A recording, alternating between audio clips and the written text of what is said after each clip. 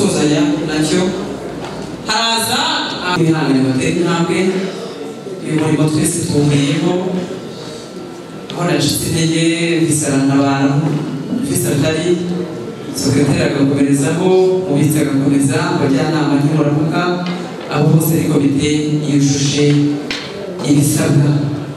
Reka mwihangane mwigire hino hano rwose noneho rero abayobozi b'intara nabo bigire akaruhuko gato yacu mwigire hino hano mwihangane mwigire hano mufunge inzira.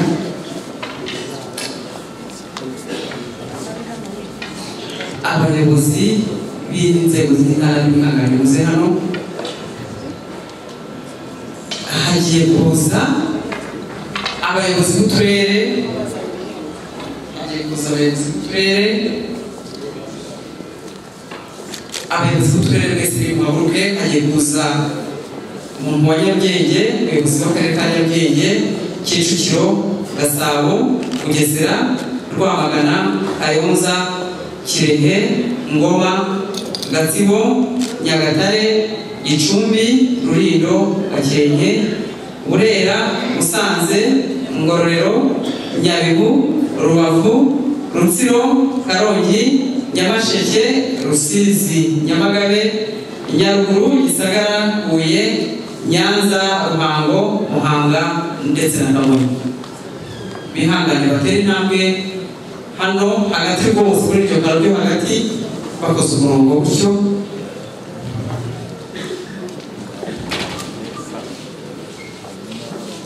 Ukora umurongo umwe utambitse ugera hariya guturutse ishimwe kuri uyu munsi mukuru w'abavuzi gakondo aba bahagarariye uturere bakoze neza baradufashije mu gihe tumaze eh, dushyize hagiyeho iyi komite ndetse baranakoze mu gihe cyose ubuvuzi gakondo bwari bumaze kumenyekana mu rwanda kuva muri bibiri na cumi na rimwe hajyaho ihuriro ry'abavuzi gakondo riyobowe na rekeraho emmanuel barakoze Ah, kuri komite yari iyobowe na bwana gafaranga daniel niyo mpamvu nka komite icyerekezo twabageneye seritifika zishimwe ku bwitange mwakoze gukomeza gusigasiga ubuvuzi gakondo mudacogora n'ibibazo byose twagiye duhura na byo.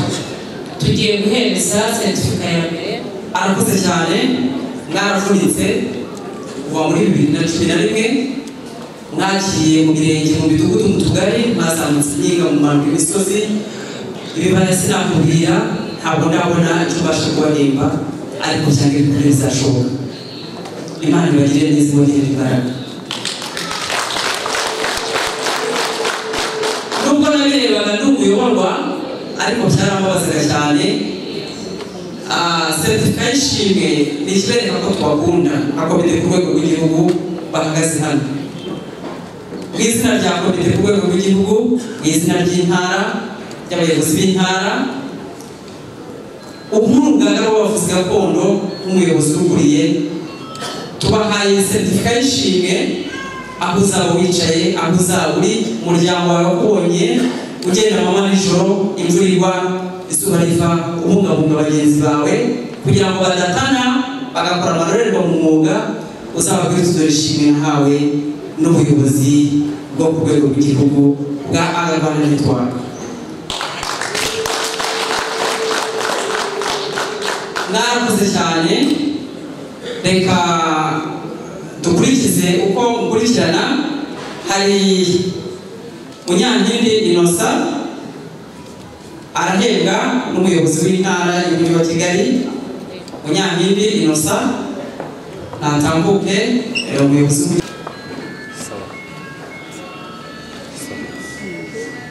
arakoze cyane. Haraza gukangukiza adiyene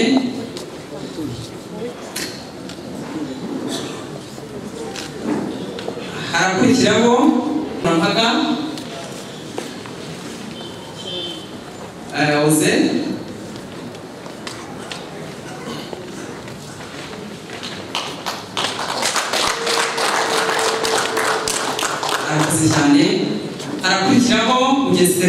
mugesera musa natambukiye kiri imbere musa ntirabona jean bosco reka no ku rwego rw'igihugu n'umubitsi agiye gutemba musa ubugesera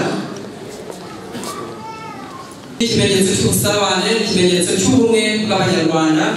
Amajyaruguru ahembye iburasirazuba.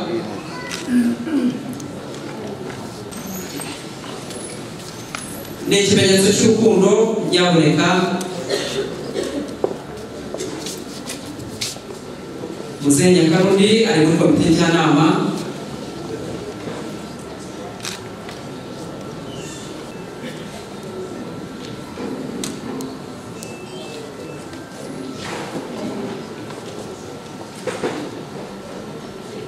hakaza umuyobozi wa ngoma. Umuyobozi wa ngoma agiye kuba akarere ka ngoma agiye guhembwa n'umuyobozi mukuru ku rwego rw'igihugu w'akanama ka ngenzuzi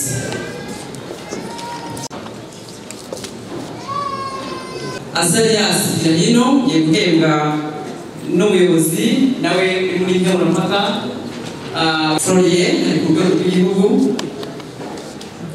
ikimenyetso cy'urukundo turabatekereza cyane ariko ntabwo dufite umuyobozi w'intara y'iburasirazuba atambuke.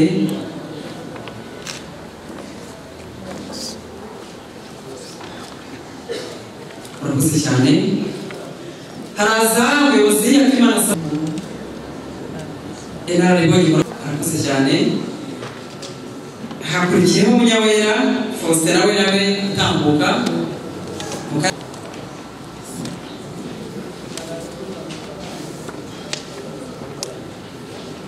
ihangane tujya vuba hagiye gukora abavuzi gakondo bajya gukundana mubahane musenyere umugozi umwe tuzagera kuri byinshi kandi byiza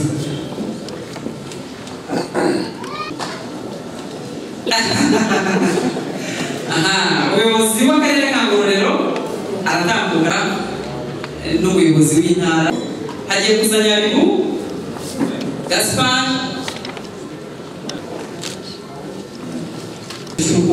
gusengera umugozi umwe namwe amacakubiri amatiyi kw'inzangano zishobora gutuma umwuga w'abavuzi gakondo uducika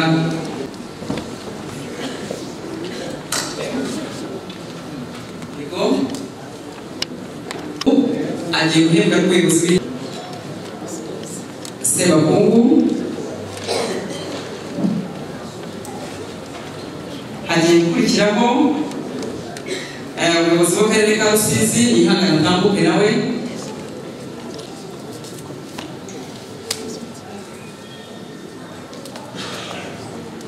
hagiye gukurikiraho umuyobozi w'akarere ka nyamagabe ntawe umuyobozi w'akarere ka huye melchioro agiye guhembwa n'umuyobozi w'akarere ka ruhango agiye guhembwa agiye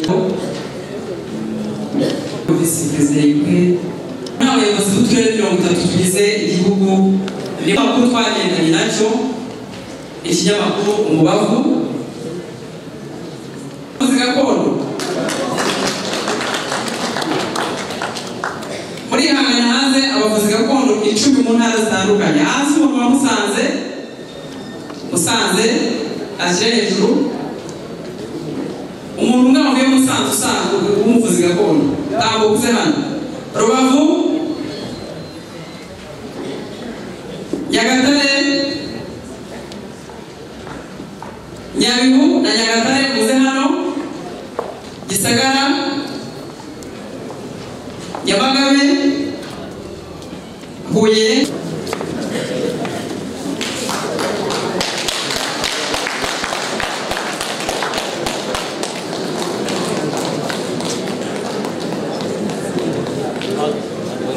murakoze cyane n'imigendere reka hasigare noneho umufotorere wenyine kugira ngo aze kubona icyo yaherewe arakoze cyane n'iyigendere iyo ni ikinyamakuru mu bavu twagendanye na cyo maze tubasha gusozanya na cyo. Haraza inararibonye bugesera bakorana n'uyu munsi. Tukaba twifuje ko bava mu mirimo bari bari muri turere bimuriwe ku rwego rw'igihugu inararibonye mu rwego rwo kugira ngo badufashe kwandika ibitabo.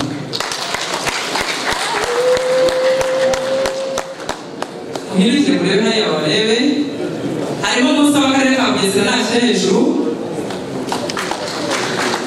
muzehe w'akarere ka nyamasheke harimo uw'akarere ka rusizi mbere diana.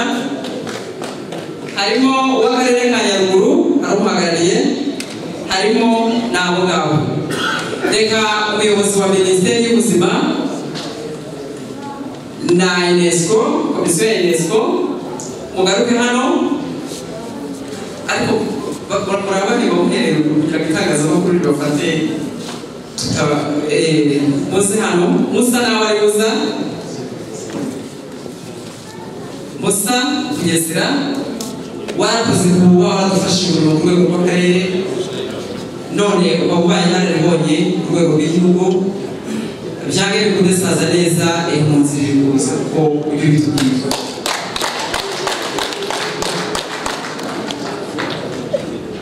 haraza murakoze cyane mwikomereze namwe musubire mu cyubahiro cyanyu hagiye kuza umusaza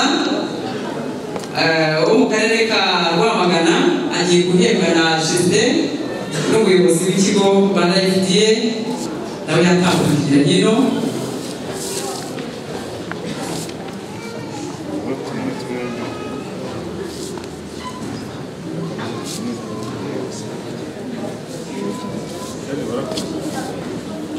yarakoze cyane musese wa Jean Damascene warakoze cyane kuba uyu musaza ku buvuzi gakondo afite ibimera ku rugo rwe arabihingwa kirere yagerayo ariko hejuru turamukeneye kugira ngo handikwe ibitabo bizasigarira abana bacu. N'umubyeyi jori ni we ukuze muri komite yo ku rwego rw'igihugu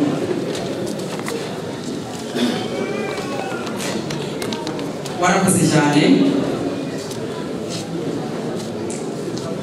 nyaruguru nawe yatambuka ntabwo yabonetse hari umuhagarariye gusagara ayimufatira ari muzehe gisagara bayoboraga akarere. Ubuzima buzira umuze.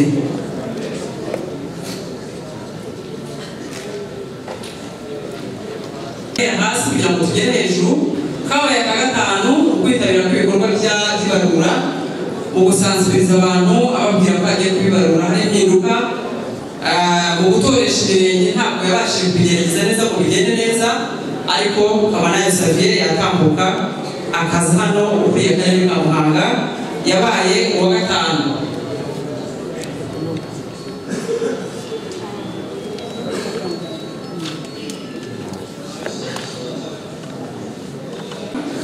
yarakoze cyane kuba ni uwa gatanu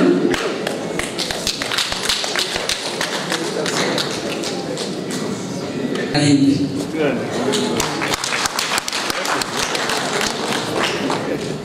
ni umuyobozi w'akarere ka rubavu oze. Uyu wa rubavu turi kugendana uyu munsi umuntu utibaruje ntabwo ari ubuvuzi gakondo. Hari abajya bibwira ngo hariho ingaga zitandukanye. Zawaga iriwaga ibintu bitandukanye utamenya ibyo ari byo. Nyaboneka rwose ureke dusengere ku munsi umwe kuko hariho minisiteri y'ubuzima urugaga rw'abavuzi gakondo tube bamwe twere gutatanya imbaraga ngo tuzishyira hamwe twubake igihugu. Urakoze cyane. Reka nabo tambuke gasabiko ahembwe n'umuyobozi wa komisiyo ya unesco muze kajuga jerome zizabako uyu ni umuyobozi wabaye wa kabiri mu karere wari mu gihugu mu turere tugize u rwanda twahembye intara eshanu. Watoresheje imirenge. Asigaje utugari n'umudugudu yagize abantu benshi bibaruje yakoresheje imbaraga ari umusaza ufite imbaraga nke. Ariko umuhati n'umurava yatugaragarije komite ku rwego rw'intara ku rwego rw'igihugu aba abajyanama twaravuze ngo reka twikoremo twikore mu nganzo maze tuhembe ni umuntu bita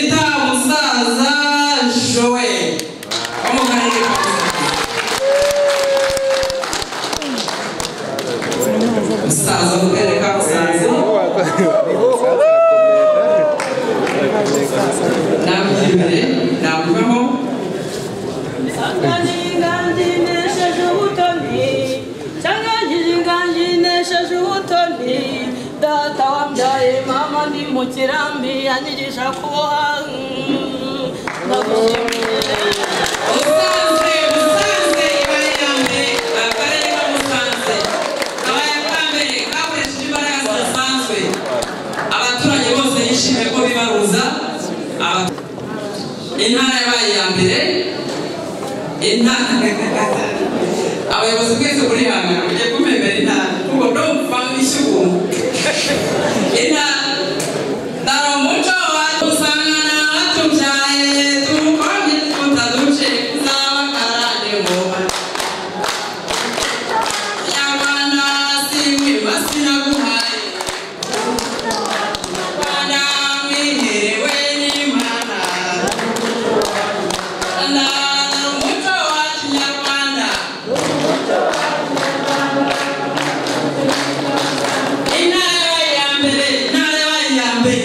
igomba guhemba umwana yakoze neza arahemba ndabeshya. Mureke tuve mu byahise cyane ari nari. Uranga kujya mu bandi urakorera mu bigero uri guca ibirimi. Wese ukoroka abantu. Kandi wese ukoroka kurusha ubwenge. Mureke tuba abavuzi gakondo. Nyabo bafite icyerekezo bagendanye n'icyerekezo bazi icyo gukora. Turashaka gufata abantu babaye aba mbere? Hari expo iri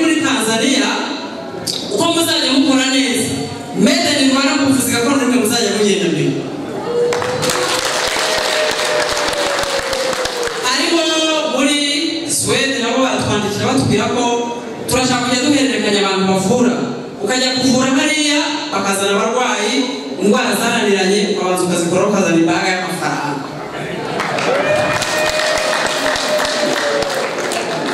minisiteri y'ubuzima nta kibazo kurashya iyo ndayishima sinyabasha kubona icyo mvuga minisiteri y'ubuzima iratwemeza ko nituramuka dushyize ibyo dusaba ku murongo izadufasha iburyo n'ibumoso kandi itwizeza ko ituri imbere n'inyuma iburyo n'ibumoso mwabamera amajwi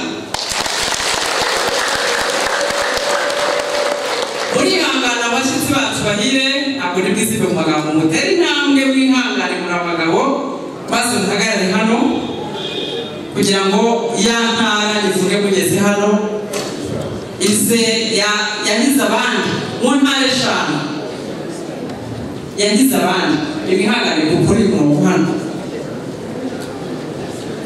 Intara yahize abandi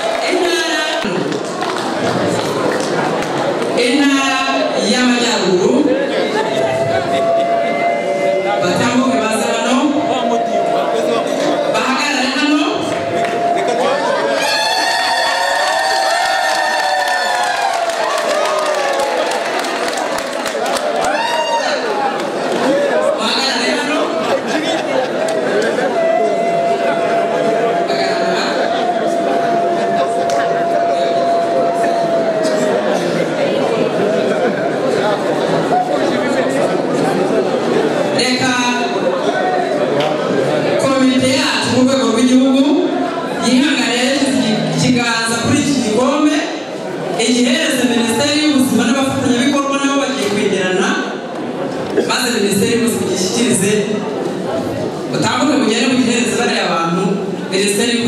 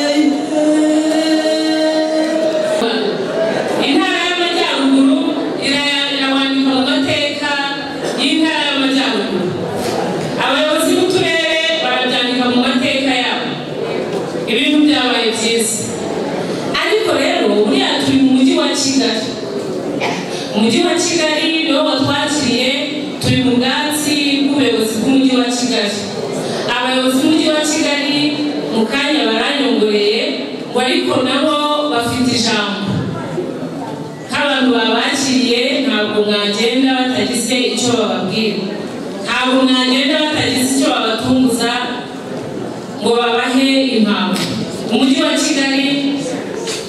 watambuka. Umujyi wa kigali mucunguze uburyo umwete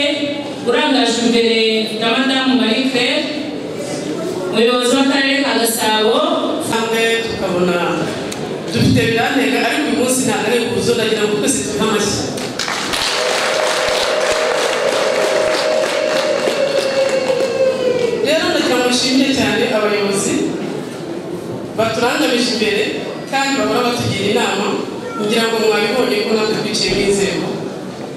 Twanze akajagari dushaka ubuvuzi bufite icyerekezo cy'iterambere. Natwe buduha amashyi kuko nitwe buhaza amazi.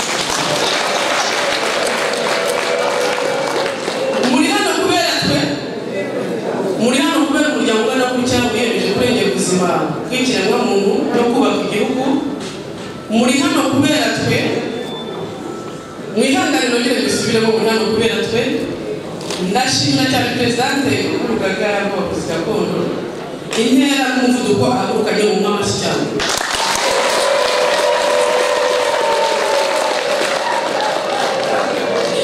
kubw'iyo mpamvu rero buri wese agira ikintu avuga yagira ikintu avuga reka mbe uhagarariye akarere ka nyarugenge agira ikintu yongeyeho ndishimye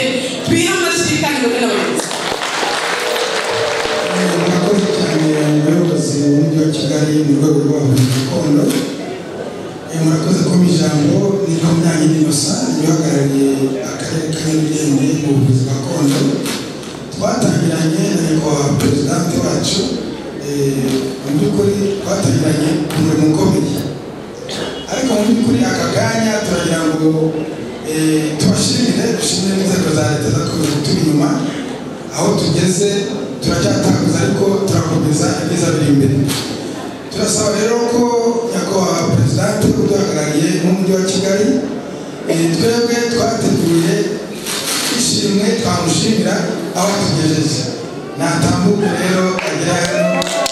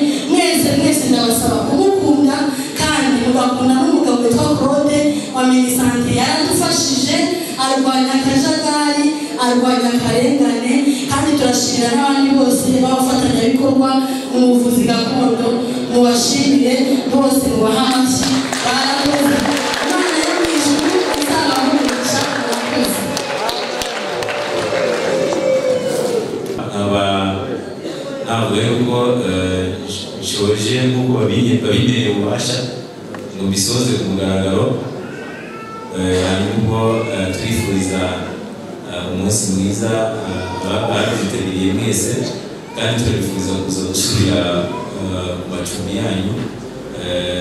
Amahoro tuzumve inkuru nziza ko ntabwo zimanuka ajya muri ibi birori agera ku icumbi. Mugire umunsi mwiza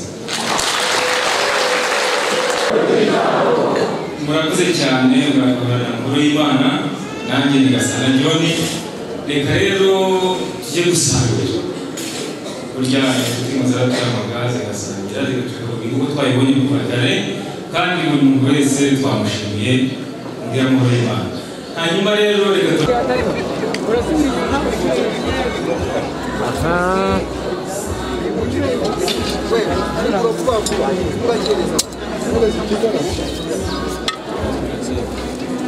ko nta wakoze impanuka ajya muri ibi birori agera ku icumbi mugire umunsi mwiza